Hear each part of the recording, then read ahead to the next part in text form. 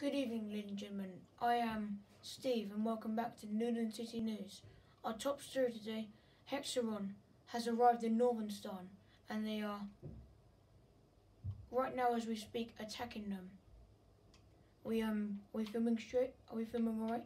Uh, yeah, yeah, yeah. Uh, do I look alright? Oh, just never mind. Anyway, even more news: Newland might have a general election about leaving Myanmar. But this is just a hoax. As you can see, this is the new Newtown. Newland is being rebuilt.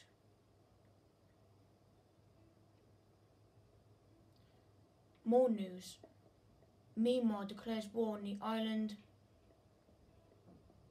of Nans.